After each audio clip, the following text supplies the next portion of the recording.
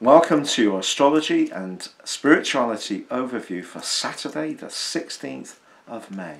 Alyssa, what cards have you chosen today? Today we're using our Angels of Atlantis Oracle cards. These are just fab, aren't they? Yeah, I really absolutely love these. see what card comes up for us today. So the card that comes up is Archangel Haniel and the word on this card is willpower. Archangel Haniel is very closely linked to the moon. She's uh, often represented with the uh, crystal selenite. Um, but this willpower energy is very much to do with our sort of solar plexus chakra. It's a thing that pushes us forward.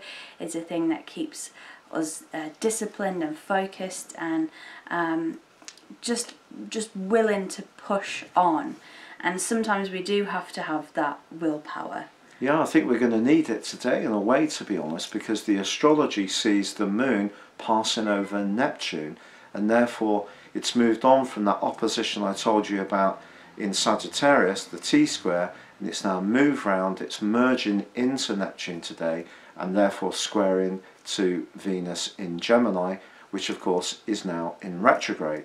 So I think our feelings today are going to be hypersensitive, but if you are someone who is very intuitive, is psychic in some way, even if you don't broadcast that, or something that's very private to you, or you surprise yourself by the amount of times you think, I knew you were going to ring as so and so rings you, that kind of stuff can really be heightened today. But so can our sense of perhaps any rawer, more um, more unprocessed sensitivities can be very, very, very delicate today. right, I feel. Right. Wow. Gosh. So So that fits in very well. yeah, and it might card. be worth reaching out to that Archangel Haniel for, for maybe some support with that. That's so beautiful. Hmm.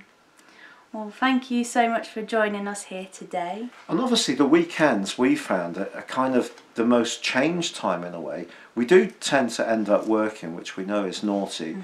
Probably seven days a week in some way or another.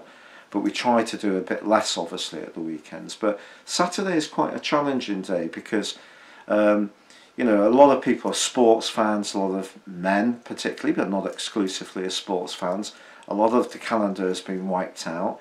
And also, uh, the pub in England, going to the pub on a Saturday night is quite a big thing for a lot of us, particularly Alyssa. Yeah, well, And li- I. I like the you know when you get dressed up and you get to go out and you know we just haven't had that for weeks and weeks and weeks. So I am missing that a little bit. Yeah, so Saturdays can be the mm. hardest day because I think if we're we are working from home or we're trying to sort of have some kind of structure in our lives, we don't really have the difference at the weekend that perhaps No. we have had in the past.